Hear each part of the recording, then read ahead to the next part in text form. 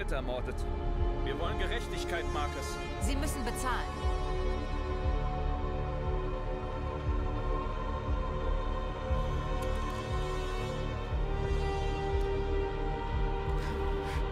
Du musst das ja nicht tun.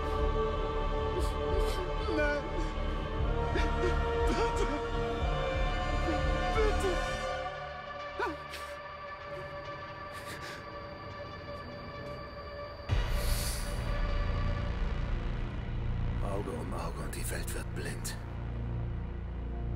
Wir vergelten kein Verbrechen mit einem weiteren.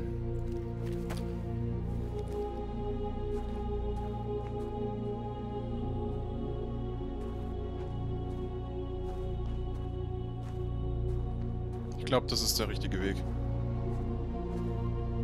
Wir unterbrechen diese Übertragung für eine Eilmeldung. Eilmeldung. Um Punkt 2 Uhr wurden mehrere Cyberlife-Geschäfte in Detroit überfallen. In einem offenbar koordinierten terroristischen Angriff wurden mehrere Geschäfte attackiert. Die meisten Schaufenster wurden mit Graffiti, die Rechte für Androiden fordern oder anderen obskuren Parolen beschmiert. Die Polizei berichtet, dass Pro-Androiden-Graffiti in der Nähe von Cyberlife-Geschäften entdeckt wurden. Die Untersuchungen dauern an. Polizisten im Schockzustand bei einem der Cyberlife-Geschäfte aufgefunden wurden. Unsere Quellen bestätigen, dass es sich bei den Angreifern um eine Gruppe Androiden Die handelt. Situation ist äußerst bedenklich. Wenden sich unsere Maschinen jetzt gegen uns? Sind Androiden eine Bedrohung für unsere Sicherheit? Ist dies der Beginn einer Terrorkampagne direkt hier in den Vereinigten Staaten? Ja, genau deswegen habe ich auch ein friedliches Signal senden wollen. Weil wir Terror machen wollen. Ach, die Menschen sind doch so dumm, ey. Markus hat einen friedlichen Protest angeführt. Das war doch das Kernding. Polizeiauto meiden, okay, ja. Da hätte man noch andere Sachen machen können. Zum Laden ge äh, gelangen. Haben wir getan. Laster finden, da wäre noch mal was gewesen. Okay. Den Platz hatten wir gesichert.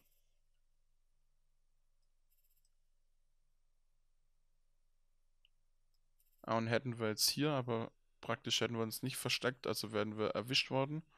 Hätte die bestimmt die Autoritäten hier gerufen und wir wären direkt vorher aussortiert worden. Polizei alarmiert, wäre dann bestimmt direkt Polizei da gewesen.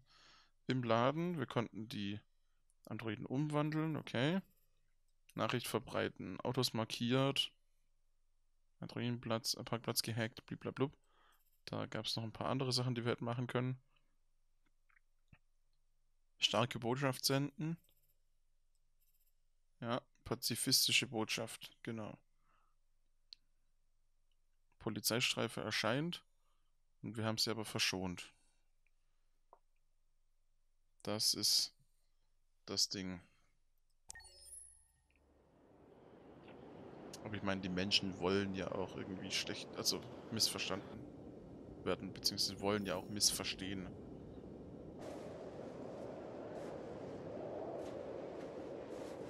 Die Menschen wollen darin ja was Gewaltsames sehen. Als Legitimierung dafür, dass sie dann dagegen vorgehen können, mit ihrer eigenen Gewalt.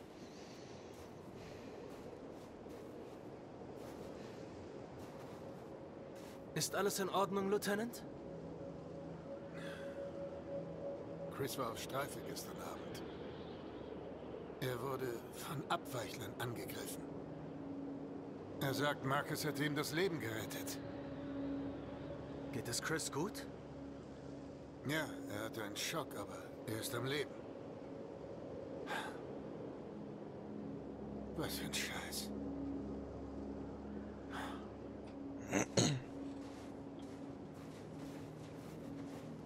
Ich habe ein mieses Gefühl, Lieutenant. Wir sollten nicht hier sein. Mieses Gefühl, hä? Lass dein Programm überprüfen. Ist vielleicht defekt. Das sieht ja richtig fancy aus, das Haus, ey.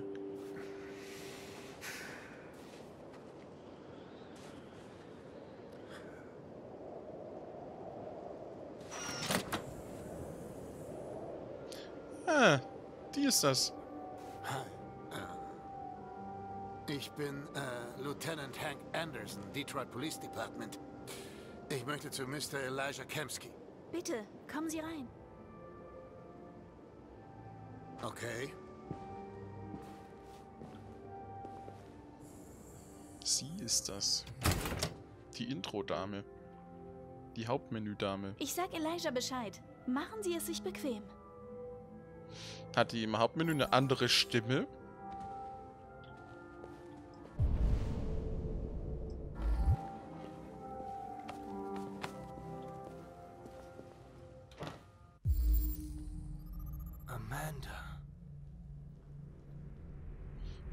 Amanda Stern, Professorin für künstliche Intelligenz an der University of Colebridge.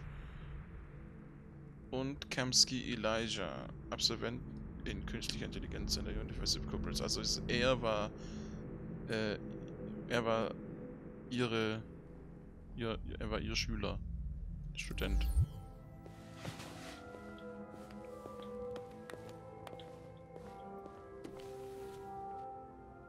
Weltraumtourismus nimmt zu. Cool. Luxusurlauber nach, greifen nach den Sternen. Ich bin halt echt gespannt, ob es sowas wirklich mal geben wird. Jetzt hier auch mit SpaceX und so. Tech Addict, Cyberlife's Wahrsager-Computer. Cyberlife entwickelt leistungsstärksten Quantencomputer der Welt. Hacker nehmen Solarmodul für Lösegeldschwindel ins Visier. Okay. Ah, nicht schlecht. So. Hübsches Mädchen. Sie haben recht.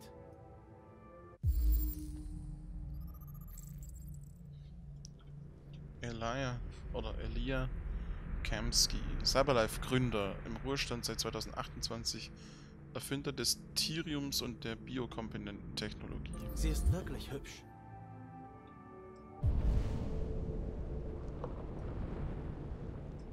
Na gut, dann setze ich Nette mich Hütte. hin. Androiden bringen offenbar nicht jedem nur Schlechtes. Gleich triffst du deinen Schöpfer, Connor. Wie fühlt sich das an? Kamsky ist eins der größten Genies des 21. Jahrhunderts. Es wird interessant sein, ihn persönlich zu treffen. Manchmal wünschte ich, ich könnte meinem Schöpfer gegenübertreten. Ich hätte ihm da so einiges zu berichten.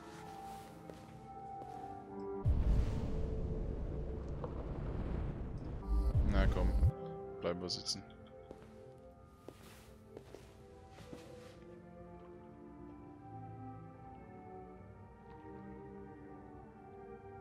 Und wir warten.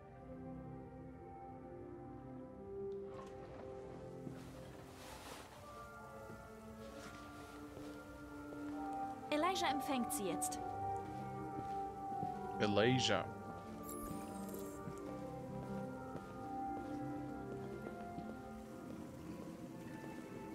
Mr. Kamsky? Einen Moment. Sind das immer die gleichen? Es sieht so aus, als wären das immer die gleichen. Moment bitte. Ja, der benutzt sie doch hundertprozentig auch als Sexdroiden, ey. Und Androiden.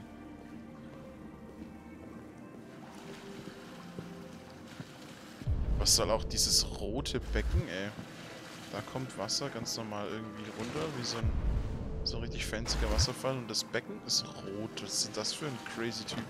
Kommt aber richtig krass hier in diesem schwarz-weiß gehaltenen Büro, dann auch mit der mit, mit, mit dem hier, das, also das ist ja, das ist ja farbtechnisch mega nice.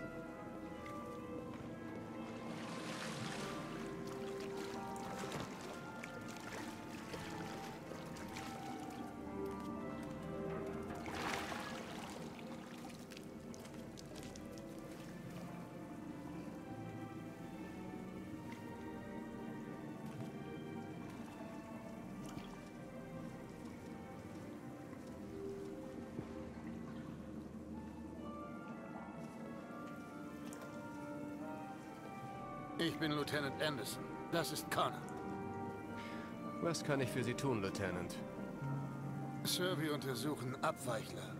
Ich weiß, Sie sind längst nicht mehr bei Cyberlife, aber ich habe gehofft, Sie könnten uns trotzdem weiterhelfen.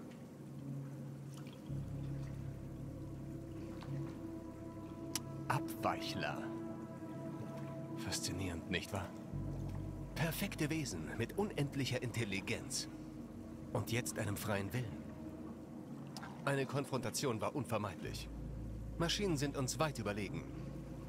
Die größte Errungenschaft der Menschheit droht ihr Untergang zu werden. Ist das nicht ironisch? Wie werden normale Androiden zu Abweichlern? Wissen Sie irgendetwas darüber? Ideen sind wie Viren, die eine Epidemie auslösen. Ist der Wunsch nach Freiheit eine ansteckende Krankheit? Hören Sie, ich bin nicht hier, um zu philosophieren. Ihre Maschinen planen vielleicht gerade eine Revolution. Entweder sagen Sie uns jetzt was Nützliches oder wir sind wieder weg. Was ist mit dir, Connor? Auf wessen Seite stehst du? Auf der Seite der Menschen, natürlich. Auf die Antwort bist du programmiert. Aber du...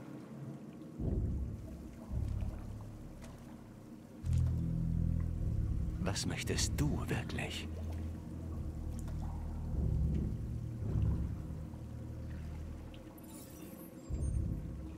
Was ich möchte, ist nicht wichtig. Chloe?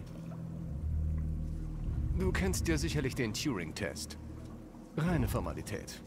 Eine einfache Frage von Algorithmen und Rechenkapazität. Was mich interessiert ist, ob Maschinen Mitgefühl empfinden können. Ich nenne das den Kamsky-Test. Er ist ganz einfach, du wirst sehen. Wunderbar. Nicht wahr? Eines der ersten intelligenten Modelle von Cyberlife. Jung. Und wunderschön für immer. Eine Blume, die nie verblüht. Was ist sie wirklich? Plastik, das Menschen imitiert? Ein lebendes Wesen? Mit einer Seele?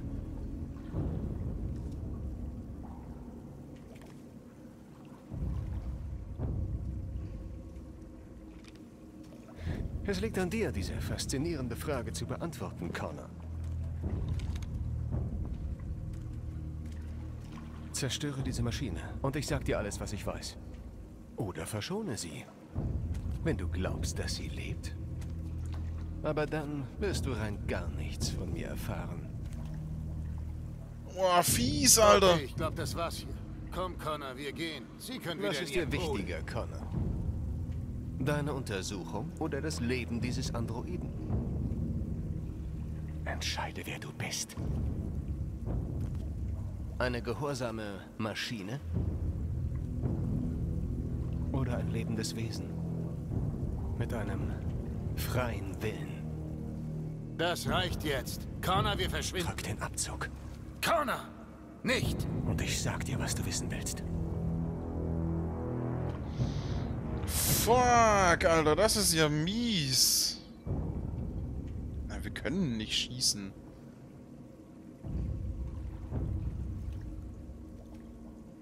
Wir können nicht schießen.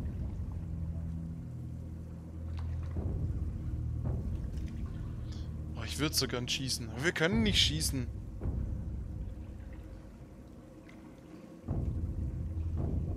Es passiert jetzt gar nichts mehr. Er hat sich jetzt aufgehangen. Bluescreen.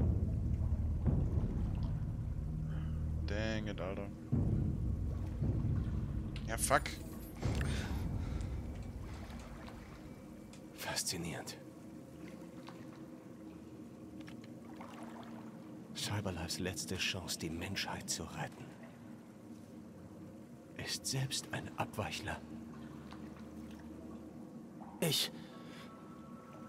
Ich bin kein Abweichler. Du hast eine Maschine verschont, statt deine Mission zu erfüllen. Der Android war für dich ein lebendes Wesen. Du hattest Mitgefühl.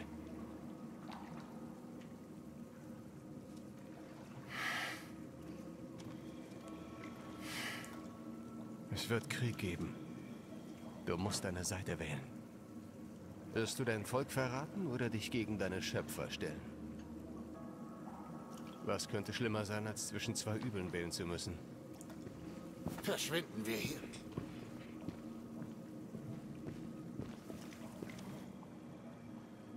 Übrigens, es gibt immer einen Notausgang in meinen Programmen. Man kann nie wissen.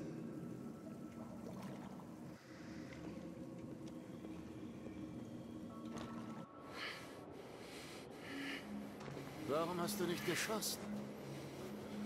Ich habe in ihre Augen gesehen und konnte nicht. Das ist alles. Du sagst doch immer, du tust alles für den Erfolg der Mission. Das war unsere Chance, was zu erfahren und du scheißt. Ja, ich hätte es tun sollen. Ich sagte ja, ich konnte nicht. Tut mir leid. Okay?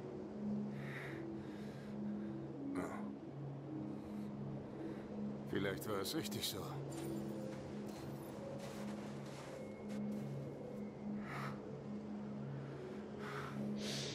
Mich beschleicht so ein bisschen das Gefühl, dass dieser Typ irgendwie ein schlechter Cop ist. Verwandtschaft. Freigeschaltet. Errungenschaft freigeschaltet. Verwandtschaft. Okay. Also. Polizist im Park verschont, hatten wir vorhin gemacht, ne? Von Chris Überleben erfahren. Okay. So, dann haben wir hier gewartet. Bliblablub, da hätten wir noch mal was machen können. Chloe kommt zurück, treffen. So, Kamsky-Test. Chloe verschont. Kamskys Haus verlassen. Hank fand Connors Entscheidung richtig. Hätten wir aber geschossen, wären noch ein paar andere Dinge passiert.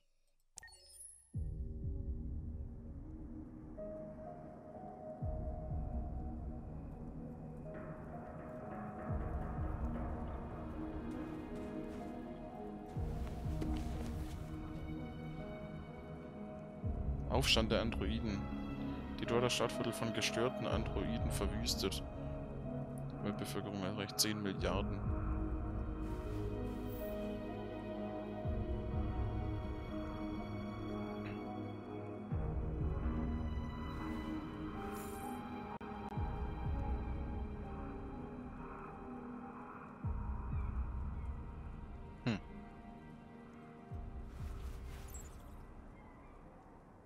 Östlicher Wettlauf ins Weltall. Russische und chinesische Androiden konkurrieren. VR MMORPG erreicht eine Milliarde Spieler. das sehe ich.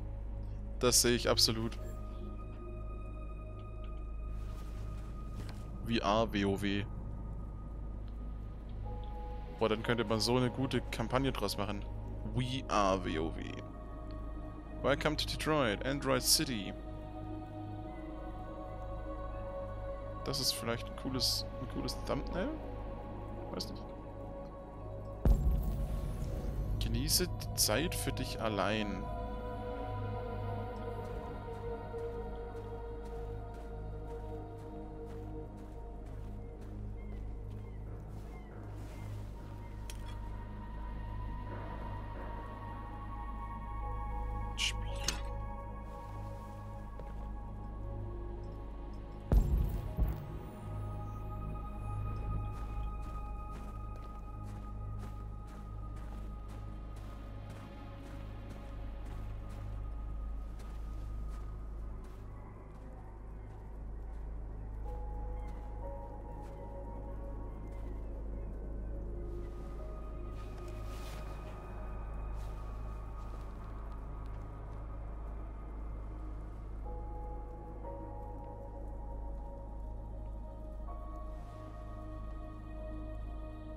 Hab mich gefragt, wo du bist.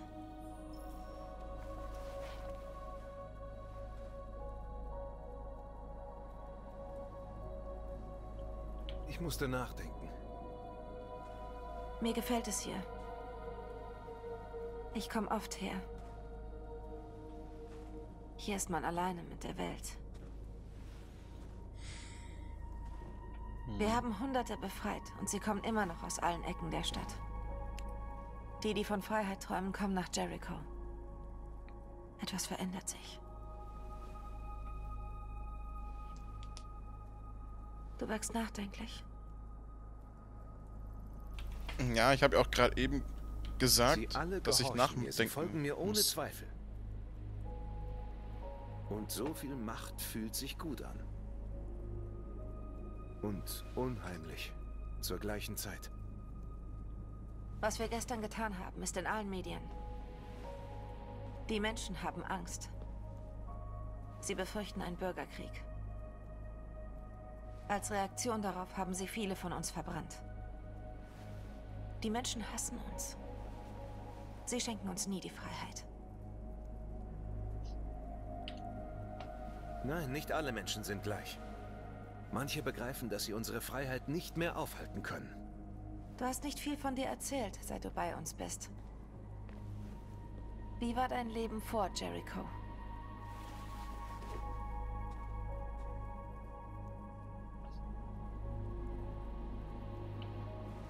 Ich kümmerte mich um einen alten Mann. Er war wie ein Vater für mich. Er zeigte mir, dass Menschen und Androiden miteinander leben können.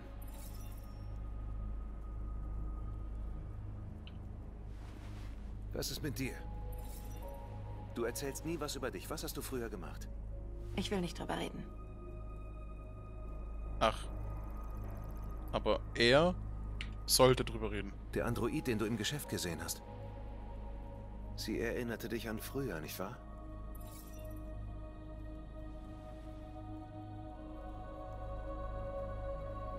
Wir alle wollen manches lieber vergessen.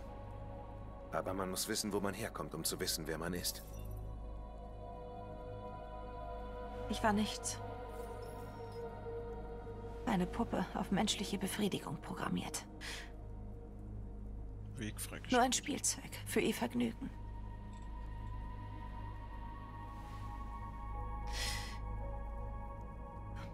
Eines Tages hat mich wieder ein Mann gemietet.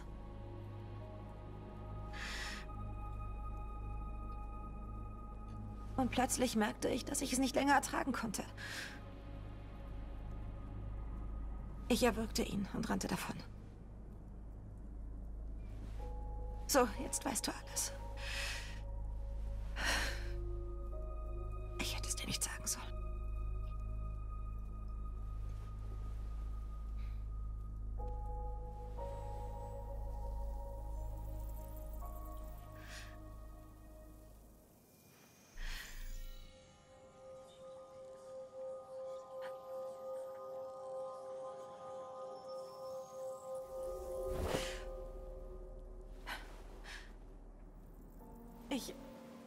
Ich sah deine Erinnerung. Karls Haus. Sie hielten dich für tot in seinem Studio. Ich sah auch deine Erinnerung. Der Eden Club. Der Tod dieses Mannes. Es war, als ob ich auch da war.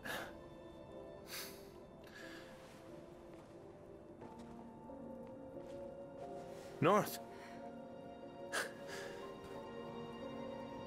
Liebesbeziehung. Marcus hat jetzt eine Freundin. Okay. Auch wenn es nicht unbedingt ein guter Start für so eine Liebesbeziehung war. Das ist Selbstmord. Wir gehen alle drauf. Bitte, Marcus, noch kannst du es dir überlegen. Du begreifst es nicht. Wir zeigen ihnen endlich, wer wir wirklich sind. Dieser Ort geht in die Geschichte ein. Sie werden uns töten. Das Risiko gehe ich ein, wenn unser Volk dadurch Freiheit erlangt. Marcus, bitte tu das nicht. Sie werden verstehen. Wir bringen sie dazu. Es ist der einzige Weg. Die Androiden hier könnten sich anschließen. Je Okay. mehr wir sind, desto lauter die Botschaft.